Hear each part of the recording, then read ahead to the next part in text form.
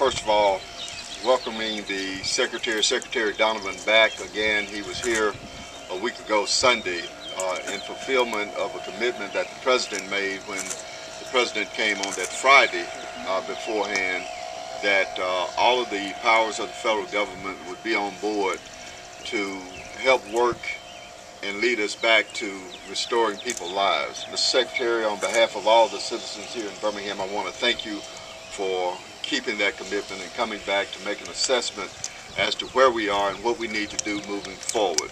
Uh, we're also happy to have Congresswoman Sewell, Terri Sewell with us, as well as uh, Congressman Spencer Bachus. I'm going to uh, turn it over at this time for any comments and remarks that the Secretary has to make at this time. Mr. Secretary. Mr. Mayor, thank you. Um, usually I would say it's a pleasure to see you uh, twice in, in eight days, but under these circumstances, let me just say thank you uh, for your partnership, for your leadership uh, during a dark hour for your city. And I want to say to you, I want to say uh, to everyone uh, in Birmingham and the surrounding communities that have been hit so hard by this tragedy, this president this administration, this HUD is standing behind you, not just today, not just for the weeks and months to come, but for the years that it will take to make this community whole again. We will not stop coming. We will be here on the ground. Uh, my team will be here on the ground every day until this community is built back stronger and better than it was even before the storms. And, and I want to give you a sense of what this partnership means because the federal government is here to do whatever we can, but we can't do this alone. We need leadership like this mayor has shown. We need leadership from our congressional delegation that they've shown. I want to say Congresswoman Sewell, Congressman Bachus have been just tremendous, tremendous partners uh, in making sure we can do everything we can at the federal level Governor Bentley uh, on his 100th day in office to have faced this. He's been a remarkable partner already. Uh, and we will do everything we can with those, these partners. But it's also about government coming together with citizens, with the private sector, uh, to make this partnership work. Think about this. As of this morning, we've had almost 49,000 individuals register with FEMA for assistance. For anyone who hasn't yet, they should take that step.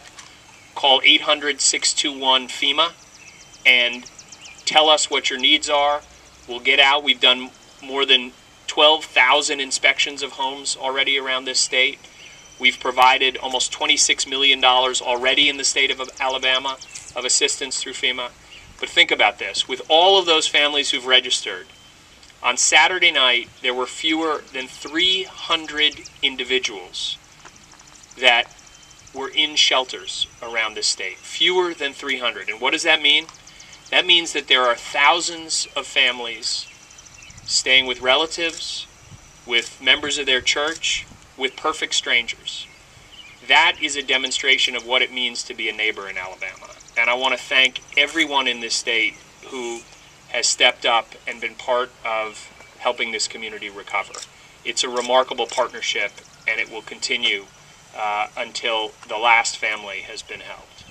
Um, our role in particular, standing behind FEMA, is to make sure that assistance is available uh, to families who need housing.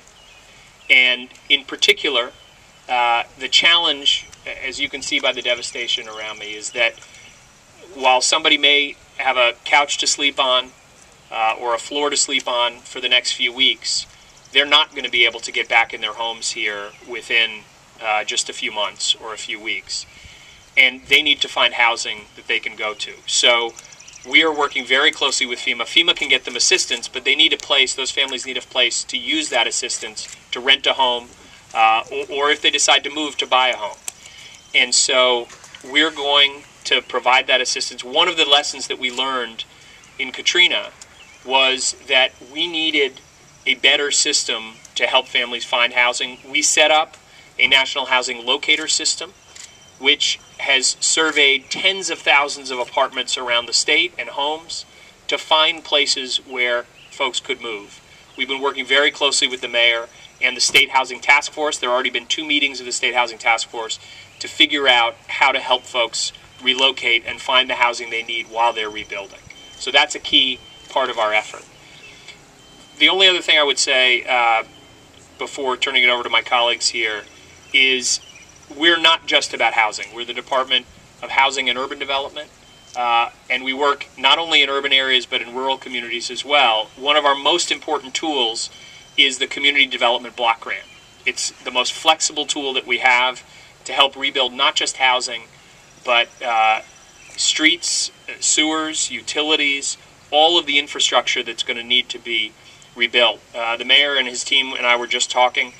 Uh, we have already cut red tape and provided waivers to the state of Alabama to be able uh, to direct that blo- those block grants to where they're needed, uh, either here or in rural communities. Uh, on Friday, uh, we met with the mayor's team and told them we could provide them a waiver on the one issue that they needed a waiver on to make that money as effective as possible. And we're dramatically accelerating new block grant assistance that Congress appropriated just a few weeks ago uh, to this community and communities around the state so that that money can go to work quickly to help start the rebuilding process. Uh, again, this will not be something that happens uh, overnight or in a few weeks. Uh, I have never witnessed devastation like this in my life. The president, as he said, has never seen anything like it. Uh, but the intensity uh, of this task, it may be daunting, but we will not rest. This president will not rest.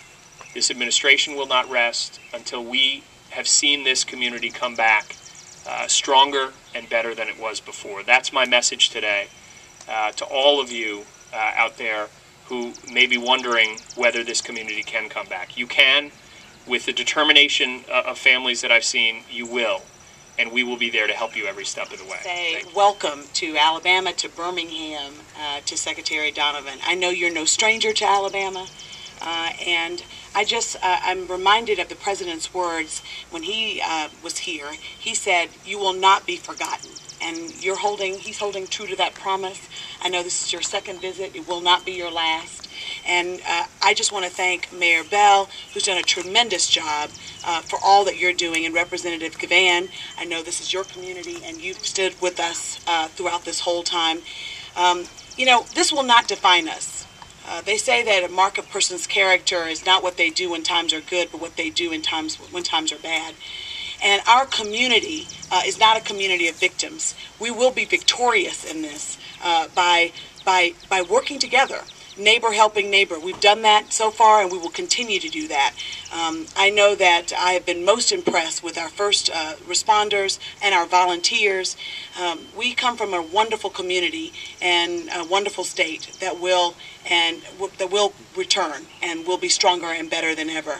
Um, I'd like to bring up now my my my, my partner in Congress uh, when we ta- when we deal with Birmingham, uh, Congressman Spencer Bachus, who's been tremendously helpful and a wonderful mentor, and I want to thank you for all that you've been doing. We have HUD employees working with FEMA to evaluate families right up front and say, hey, if, if this is if this is a family that can get back in within a couple months, we'll just help them with assistance. We won't need the DHAP program, but in a situation where it's longer term, We'll assess them right up front, get them into the DHAP program as quickly as possible so that we don't have dropped handoffs. We don't have, you know, uh, one family having to talk to six different people uh, in the federal government. It, it's a much more efficient, effective process. And by the way, it costs less to the taxpayer because we already have all the systems in place through the voucher programs of the local housing authorities uh, that can do inspections, uh, that can uh, help families make uh, cut checks on rent, all of those things uh, over the next couple of years. So those, that's an example where a month from now, a family is going to know that they have assistance that can help them for 18 months. Uh, as opposed to being in limbo, uh, when, uh, as the congressman said, there's so much else that is on their mind that they're the, uh, my staff in community development, planning and engineering, uh, Public Works, who have worked tirelessly to make sure all the roads were cleared and the public right-of-ways are, are being cleared. It takes a team effort of everybody, and, and I'm, I'm just grateful to be the mayor of a city that has shown its heart. As I look over here to the right, I, I see a keyboard that told me that if it came from this house or whatever house it came from, music was in that house.